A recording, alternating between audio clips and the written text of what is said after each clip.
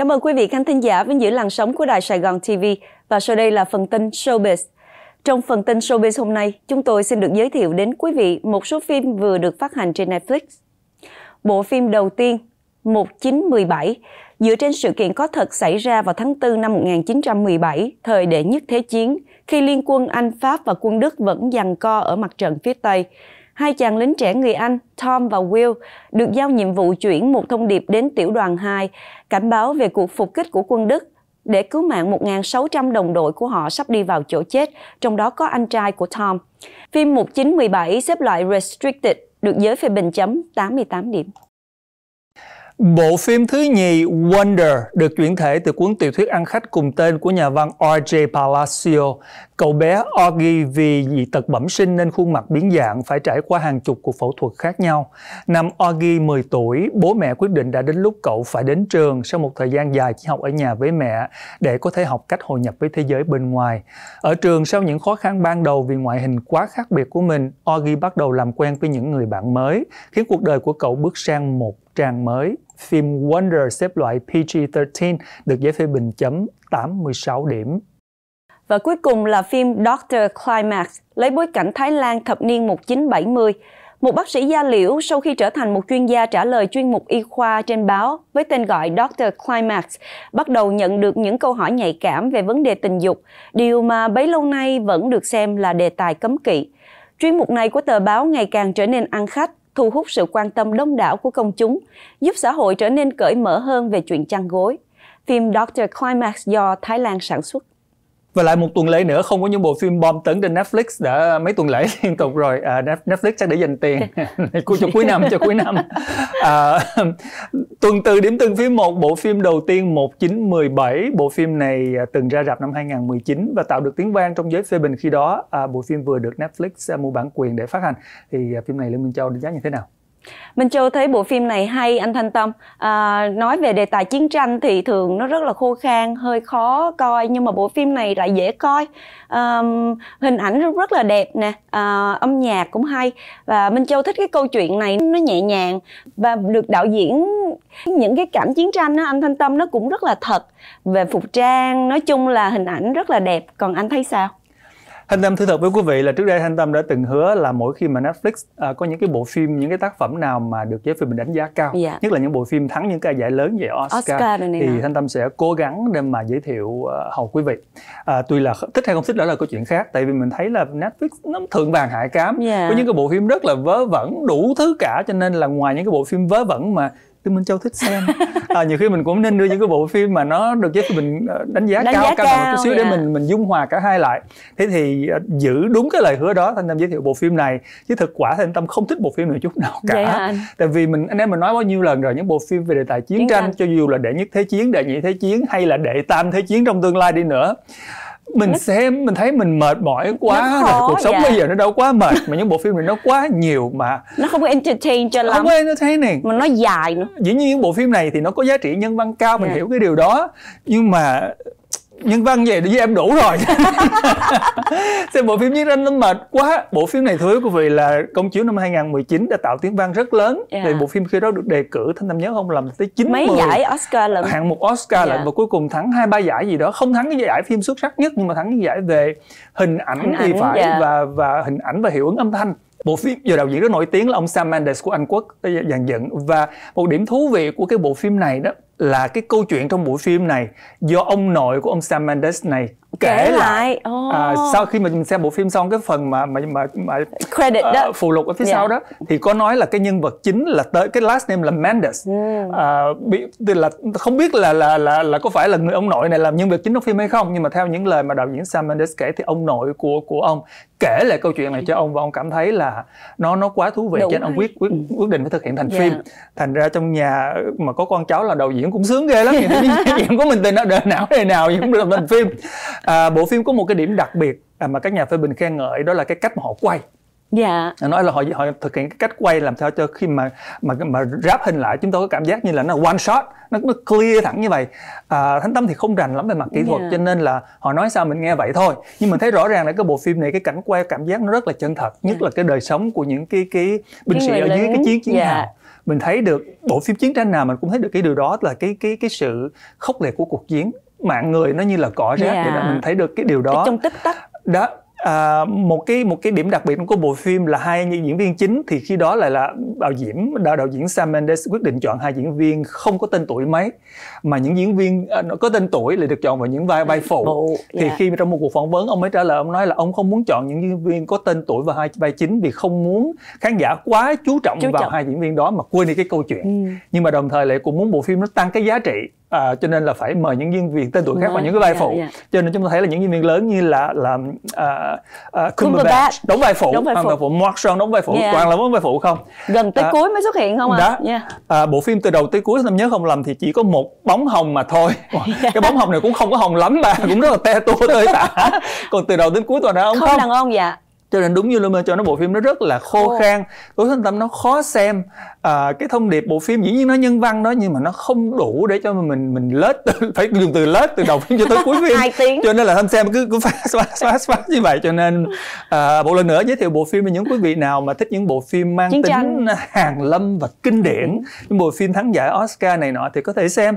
Nhưng mà nếu mà xem bộ bộ phim để mà có mang cái giá trị giải trí thì, uh, bộ thì, phim thì, này thì không không không bộ có phim này thanh tâm không không không không không recommend thì với quý vị đó là phim 1917 được giải phê bình chấm điểm rất rất cao. Bộ phim thứ nhì cũng là một bộ phim được giải phê bình chấm điểm rất cao và thuộc một cái thể loại hoàn toàn khác hẳn cũng là một phim cũ đã từng ra rạp năm 2017 18 gì đó. Và đến bây giờ Netflix mới mua bản quyền để đưa lên uh, phát hành. Bộ phim mang tên là Wonder. Phim này Lê Minh Châu đánh giá như thế nào Minh Châu thích bộ phim này quá anh Thanh Tâm nó quá là dễ thương. Một bộ phim uh, gia đình uh, và cũng mang nặng tính nhân văn ừ. luôn. Uh, nhưng mà nó rất là gần gũi nó gần gũi hơn vì mình thấy uh, cái tình yêu thương gia đình cha mẹ ở trong này nó nó nó sâu đậm. À, và mình cũng có thể relay anh thanh ừ. tâm.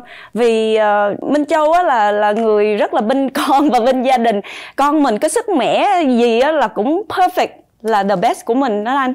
Cho nên coi cái phim này minh châu cũng cũng rất là thích. Và cái câu chuyện nó nó nhẹ nhàng không có gì mà uh, quá không có cái những phút cao trào hay là những cái cái twist and turn gì cả. Nó nó, nó nhẹ nhàng như một câu chuyện gia đình nhưng mà nó nó thấm.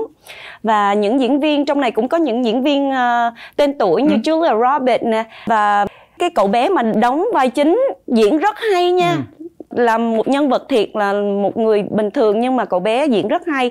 À, cái nội tâm của của cậu bé và lúc mà khóc quá dễ thương tội dễ sợ. Minh Châu rất là thích bộ phim này của anh? Thưa quý vị là bộ phim này à, Thanh Tâm nghĩ là những cái bậc phụ huynh nào mà có con em? Ừ. mà nhớ là có con em có những cái cái cái những cái những cái, những cái nhu cầu đặc biệt đó yeah. Dạ. thì xem bộ phim sẽ cảm thấy rất là thấm thía. Ừ. Thanh Tâm thì không có con và lại càng không có người thân nào trong gia đình có những nhu cầu đặc biệt đó nhưng mà xem bộ phim vẫn cảm thấy thấm thía. Tại vì khi mình xem bộ phim đó thì tuy là mình không có relate được trực tiếp vào cái hoàn cảnh đó nhưng mà mình có thể mình mình mình nhân rộng ra cái mình bộ phim, đồng. mình cảm yeah. Dạ. được cái bộ phim à, cái thông điệp của bộ phim Thanh Tâm rút ra đó là cái cái sự nhân ái giữa con người yeah. với con người với nhau. Không phải trong cái hoàn cảnh đó và những cái hoàn cảnh khác mình cũng thể áp dụng cái sự nhân yeah. ái cái lòng nhân ái đó dung. đối với những cái người bao dung cái từ rất là yeah. hay đó là đối với những cái người mà có cái hoàn cảnh nó khác biệt quá với mình mình có mở lòng mình chấp nhận được họ hay không hay là mình nhìn họ bằng con mắt kỳ thị. kỳ thị có thể nhiều khi mình không có hành động kỳ thị nào cả nhưng mà chỉ bằng cái, ánh, cái mắt ánh mắt của mình thôi, thôi. Dạ. cuộc họ cũng có cảm được cái điều đó ừ. và và đối với mình ồ nó chỉ là một ánh mắt mà đối với họ nó cả là một cái gì đó nó làm cho họ đau đớn như một cái con dao gì đó đó và không chỉ ảnh hưởng tới cái người đó mà ảnh hưởng tới gia đình, gia đình. những người xung quanh của họ trong trường hợp này là một em bé ừ. cho nên là bộ phim thanh tâm thanh thấy là nó nó nó nó nó thấm à, nó nó chạm đến trái tim của mình ừ. à, trong cái bộ phim này có một cái điểm một một câu nói mà thanh tâm cảm thấy có thể là một câu nói nó nó bình thường ai cũng có thể nói được nhưng mà tự nhiên mình nghe lại mình nhiều khi những điều bình thường nhưng mà chúng ta vẫn cần được nhắc nhớ thỉnh nhắc thoảng nhớ, nhớ trong dạ. cái đời sống này đó là khi mà phải phải lựa chọn giữa cái cái cái cái cái cái điều đúng, đúng. và cái điều tử tế cái điều uh, nhân ái kind đó yeah. Dạ. nên chọn cái sự nhân tử tế ái. và nhân ái hơn là chọn cái điều đúng, đúng. cái câu đó hay vô hay cùng rất là dạ. hay rất là hay à, xem bộ phim mình uh, mình thấy được cái cái sự hy sinh của gia đình dành cho người con của cha của mẹ của người người chị, chị. Uh, cậu ừ. bé à, bộ phim cũng có một cái điểm hay nữa là không chỉ tập trung hoàn toàn vào cậu bé ừ. mà tập trung vào tất cả những người thân trong gia dạ. đình để mà xem là cái quan điểm của mỗi người cái cái những bất bất kể một người nào trong cái đời sống này họ cũng phải có những cái cái cái cái cuộc đấu tranh những cái khó khăn trong cuộc sống yeah. mà dạ. họ phải trải qua Đúng chứ thật. không phải chỉ có cậu bé này không. Dạ. những người khác nhiều khi còn có, có khó khăn hơn, hơn nữa, nữa. Yeah. tại nên bộ phim nó cũng khắc họa được cái cái điểm hay đó điểm đó góc nhìn từ nhiều cái cái cái, cái uh, những nhân vật khác nhau yeah à, một bộ phim thanh tâm thấy là rất là thích hợp à, cho gia đình nhất là trong ngày lễ cha ngày hôm nay. Dạ. à, đó là bộ phim Wonders với quý vị À, bộ phim cuối cùng như thường lệ chúng tôi vẫn ưu ái giới thiệu điện ảnh của châu Á. Lần này là một phim đến từ Thái, Lan. À, bộ phim mang tên đề là Doctor Climax dài 8 tập. À, Linh Minh Châu xem được mấy tập và đánh giá như thế nào? Minh Châu xem được 4 tập anh Thanh Tâm. Ok. Bộ phim này Minh Châu thích cái tính hài hước và vui nhộn của nó ừ. và nhất là cái cái cách dàn dựng của người Thái lạ. Ừ. I love it. Và những cái thập niên 70 nữa cái cái, cái màu nè và những cái nhân vật trong phim cái cách họ uh, đối nhân xử thế cách họ giao tiếp với nhau. Cũng cũng giống Việt Nam mình, cái chuyện đó rất là nhạy cảm, cái chuyện phòng the rất nhạy cảm, không ai mà nói với ai. Nếu mà nói chuyện với nhau cũng cũng nói tránh đi mà không thể nói direct được. Cái bộ phim rất là thú vị. Minh Châu rất là thích bộ phim này không anh?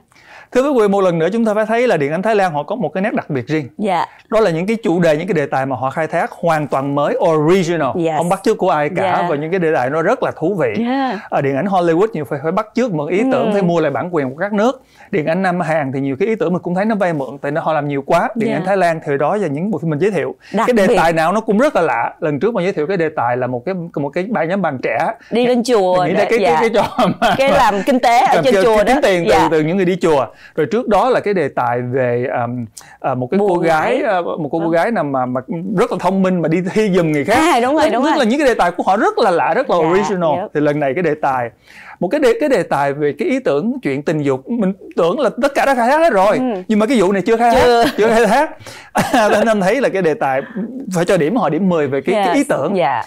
À, nhưng mà về cái phần mà dàn dựng câu chuyện thì thì rõ ràng điện ảnh Thái Lan chưa đủ để đạt điểm 10 những cái bộ phim nhất là phim bộ của họ họ họ vẫn thấy nó vẫn thấy là họ bị bị vướng vào bị cái cái lỗi là kéo dài nó lê thê. lê thê phim tắt họ muốn kéo dài nhiều tập dạ. để cho kiếm tiền cho nên là nó nó nó nó câu chuyện nó còn dạ. phim này không cần phải dài tới 8 ừ. tập như vậy à, cá tính nhân vật trong trong trong cái bộ phim thì nó cũng cũng dễ đoán dạ. mà nó một một màu một chiều chứ nó không có có có, có nhiều nhiều Mô tình, nó dạ. không có nhiều chiều nó không nó nó mất đi cái tính tính chân thật và thú vị của bộ phim ừ. à, lồng cái bộ phim vào cái cái bối cảnh thập niên 70 ở Thái Lan thì mình nghĩ câu chuyện có thể là nó mang tính hài hước ừ, dĩ nhiên yeah. Nhưng mình nghĩ là có thể là cái đề tài đến bây giờ nó mình thấy không có không có liên quan gì cả tại vì bây giờ mà nói chuyện tình dục thì nó quá là bình thường nhưng mà thanh tâm vẫn thấy là nó vẫn có cái sự liên quan nha. tuy là bây giờ dư luận họ cởi mở hơn về chuyện chăn gối và chuyện tình dục thế nhưng bản thân mỗi người chúng ta người nào thanh tâm nghĩ lúc nào nó cũng có những cái những cái khúc mắc mà không dám tỏ không dám ai. hỏi bao nhiêu năm trời nó vẫn như vậy thôi. Dạ. khi mình mình mình có thấy mình mình mình ngượng ngùng hay là đó là đó là cái cái cái cái um, cái văn hóa cái cái khó xử của của mỗi người ngay cả những người Mỹ họ rất là open người phương Tây họ rất open về cái chuyện đó nhưng mà thanh tâm nghĩ là deep down trong mỗi người nó cũng đều có những cái những cái chuyện khó nói riêng Mắc của mơ. họ mà họ không dám mà không không không không có thể mà mà, uh, mà mạnh miệng chia sẻ cùng với người khác. Cho nên là cái cái đề tài đề tài rất là thú vị và nó mang cái tính universal. Yeah. thời nào dân nào cũng có thể cảm thấy uh, cái đề tài đây là một đề tài liên quan tới mình được. Cho nên bộ phim thú vị ở điểm đó yeah. thưa quý vị. À, và đó là phần tin showbiz. Chúng tôi sẽ trở lại với bản tin cuối trong chốc lát